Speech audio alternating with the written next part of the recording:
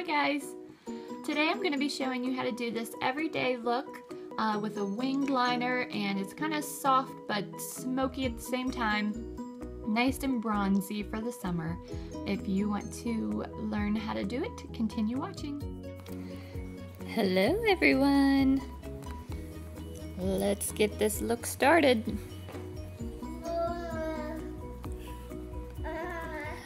We're going to be applying some moisturizer first and foremost.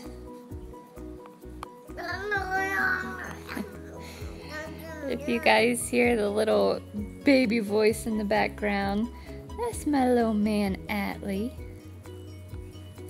He'll be joining me in the voiceover.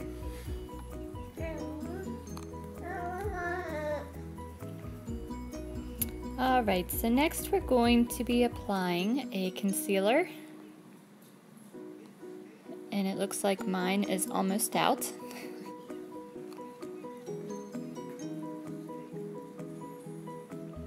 conceal those under eye circles.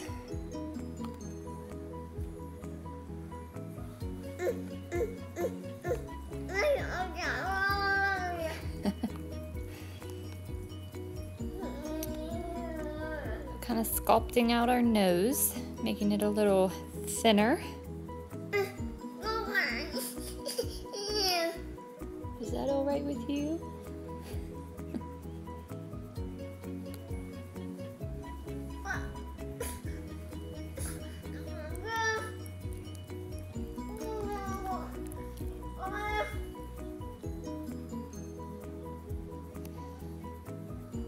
My chin gets awfully red, so does around my nose, and of course little blemishes. Taking our damp beauty blender and blending away.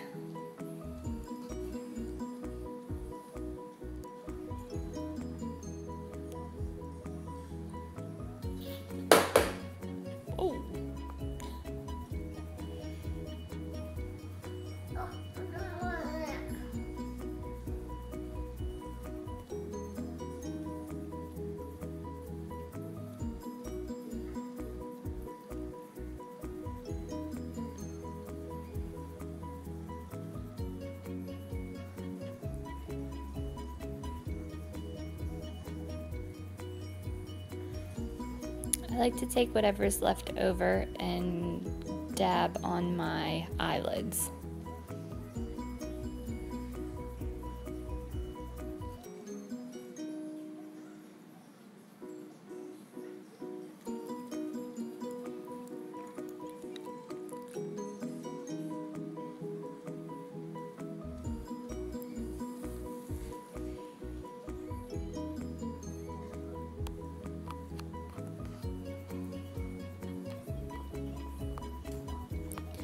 Next, I'm using my foundation from Makeup Forever. It is the Matte Velvet, and the color is number 55.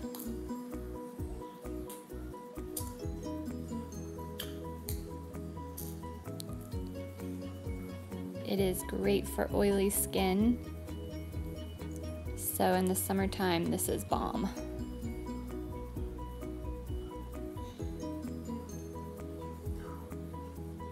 I mean, it's great all year round, but for me, I do have really oily skin, and you know, we all get a little sweaty and dewy in the sunshine. So it, it's good because it stays in place.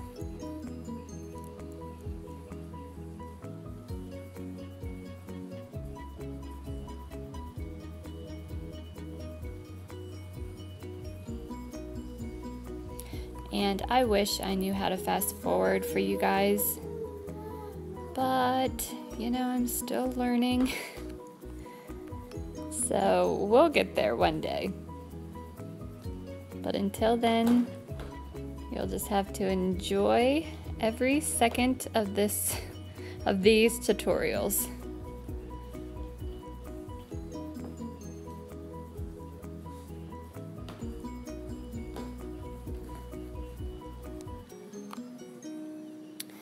Using a big fluffy brush from IT Cosmetics, I'm applying, um, it's a product from Arbonne. It's called FC5. Um, it's a mattifying powder. It is fantastic for uh, shine and oily skin. It just puts a flawless finish on your face. I use that to set my concealer, or uh, I mean my foundation.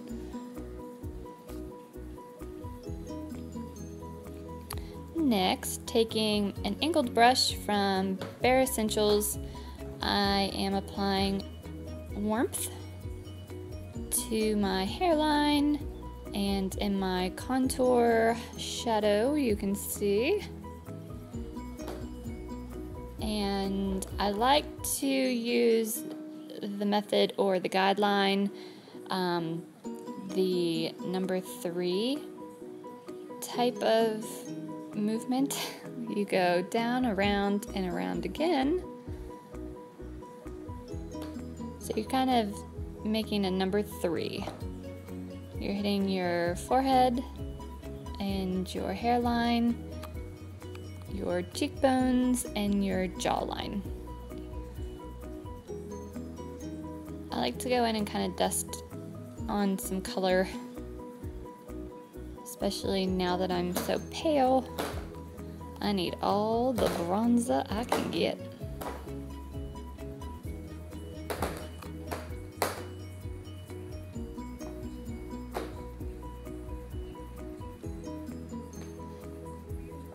Now going in with a highlighter. This doesn't have any shimmer to it, it's just a very light color. Just sweeping that under my eyes, down the bridge of my nose, on my chin, and lower jawline. And you can see it really makes your contour pop.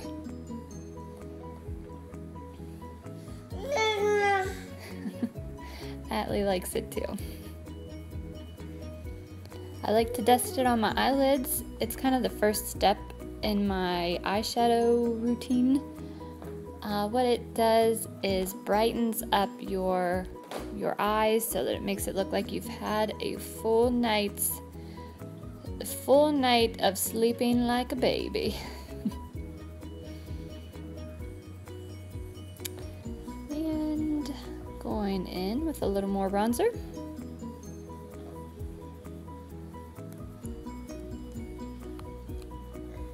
Grabbing my Tarte blush palette. I'm using Dollface and Beaming. Mixing the two. It's just a nice soft pink. Looks like a natural blushing color.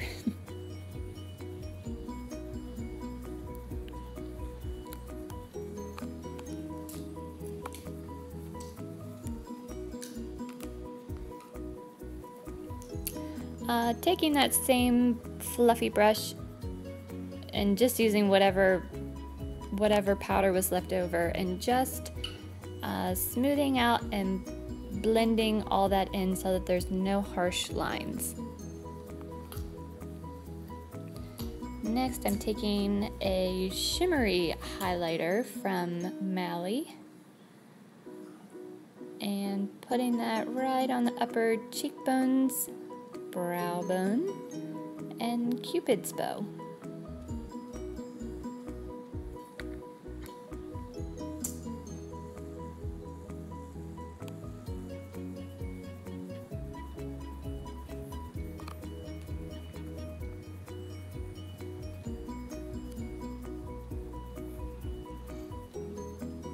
Good stuff.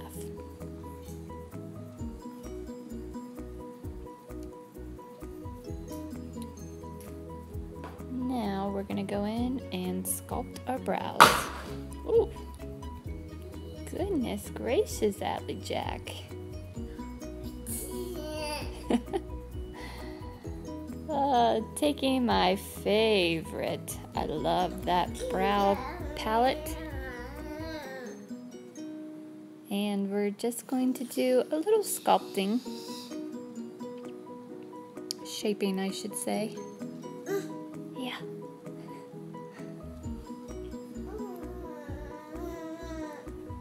If you guys want to see a um, more detailed step-by-step -step on how I do my brows, you can go to my channel and look for that brow routine tutorial.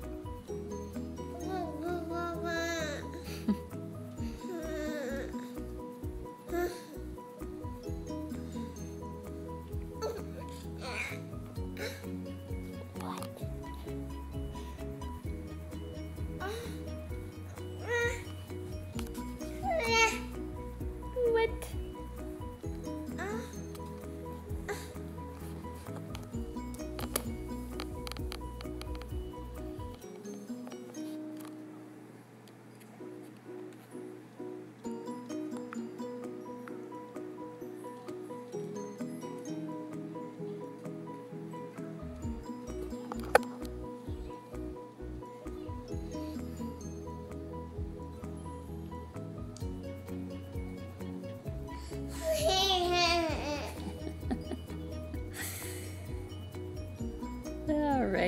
gonna brush that out. Make all the hairs go in the right direction. And here we go. Ta-da! Putting on some Myth lipstick from MAC.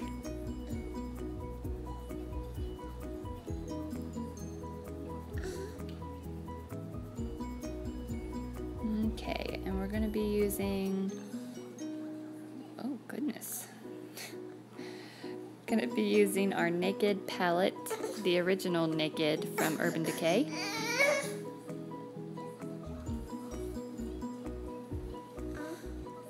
I feel like this is such a good, um, I feel like everyone has this. so it's really nice to do for tutorials because I've just most people already have this and the colors are great. They're good for everyday, whether you're doing a soft, like no makeup makeup look, or you're going like we're doing now, a little glammed up everyday look.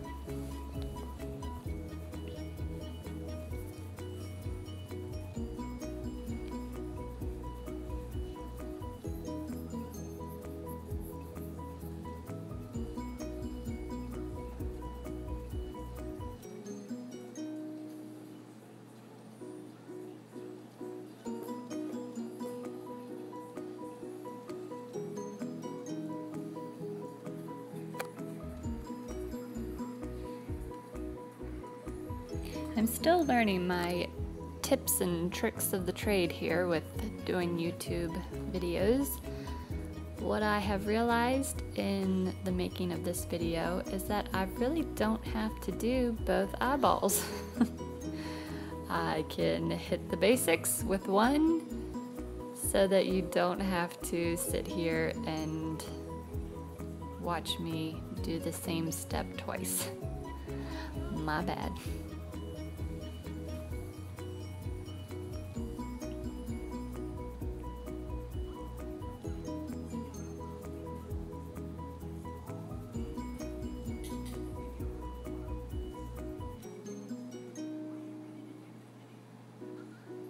Don't mind my messy bun. I feel like every video that I've done so far, my hair has been a hot mess. uh, the life of a hairdresser on her off days.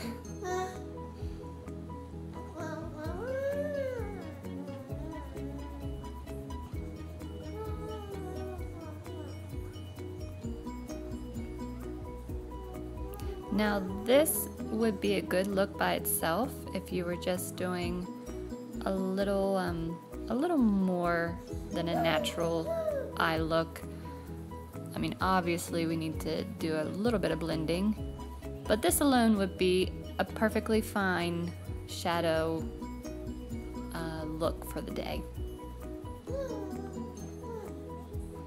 I like that color if you haven't noticed. It is almost gone.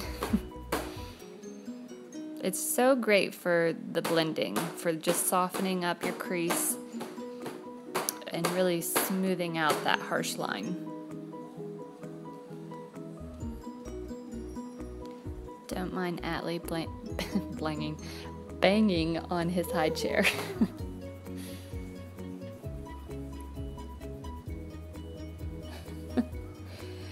so I'm thinking I'm gonna do in my next video a tutorial on how I cut his hair. Um, let me know if that's something you guys would want to see. Um, it should be a doozy to film. I might have to wait when my husband's home. Uh, he works all day. He is uh, in construction, so if the sun is out and it's shining, he's at work. So typically he gets home pretty late.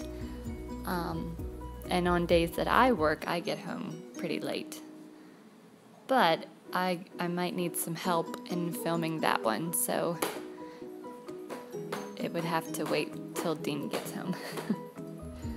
but Atlee has great hair. Like, everyone always comments on how beautiful his hair is and his head shape. He's just a lucky little kiddo. So, unfortunately, though, his hair does grow like a weed and I have to cut it pretty frequently. So I would like to do a tutorial on how I cut his hair.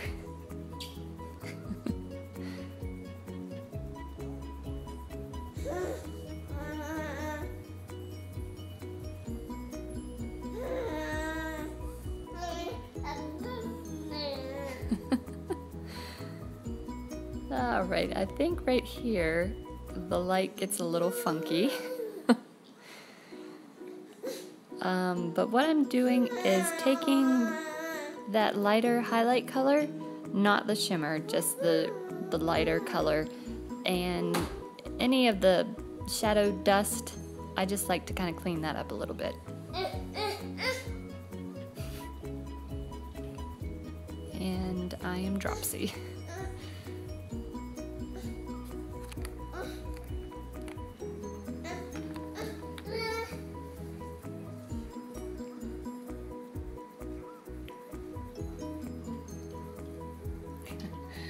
dropping things left and right.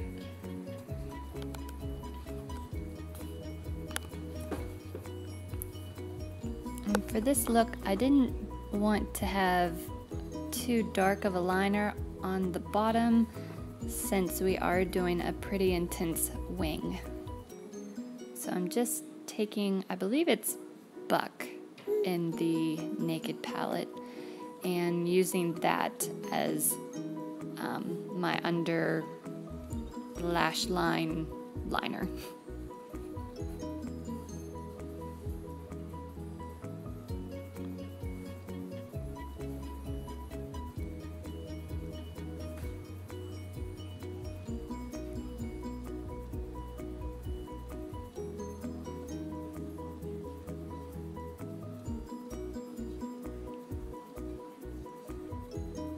It does the job without being too intense.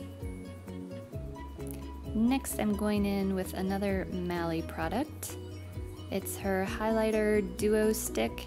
I'm taking the spongy side and just getting hitting the inner corner and then dragging it down uh, in my lower lash line a little bit as well as hitting the eyebrows or brow bone again.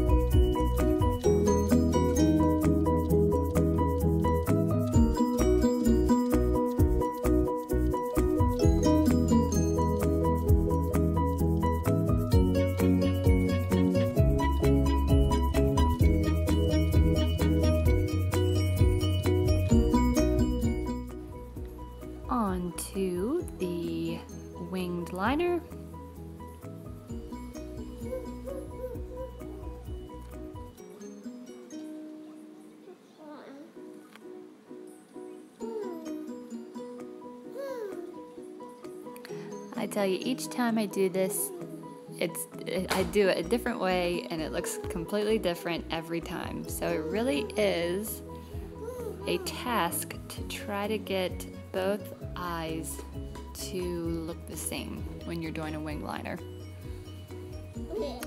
And my left eye is always way easier than my right eye.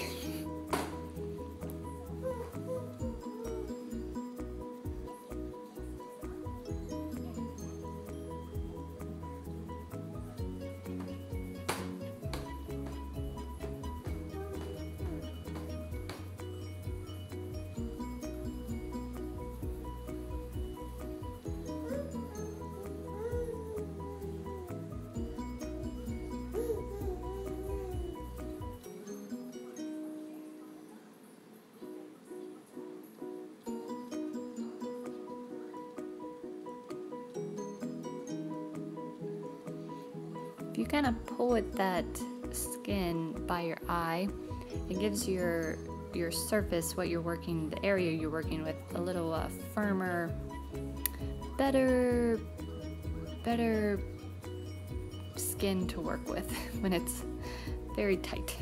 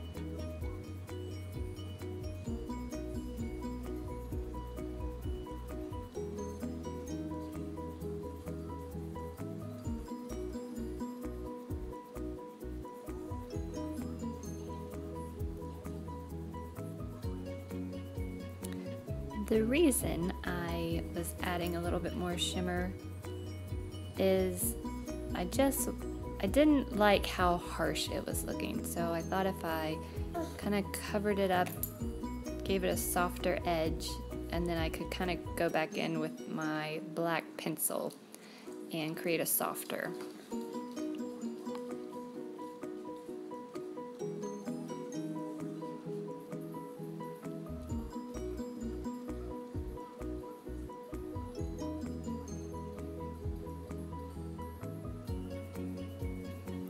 there was a stray eyelash doing some funky things.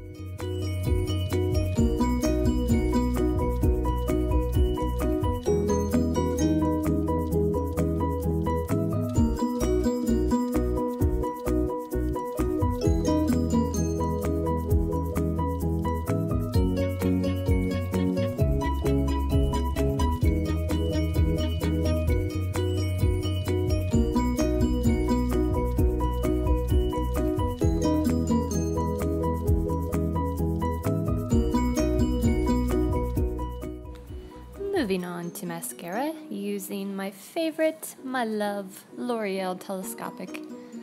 Oh, okay, so the clump that comes out on the end of your wand, never let that go back in your tube. Always wipe it off.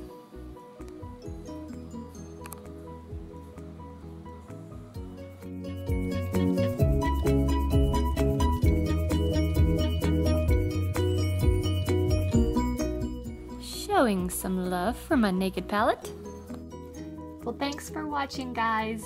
And thanks for hanging in there with me through all my rookie moments. Remember, subscribe, like, and only nice comments are allowed. Bye.